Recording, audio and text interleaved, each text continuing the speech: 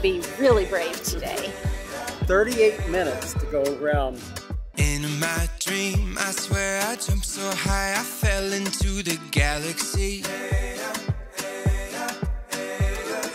You and me forever, cause we'll never hit the ground, we're falling free.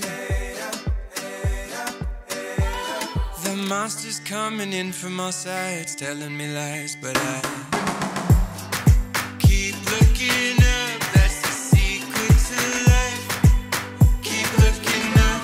at the top, really over the top.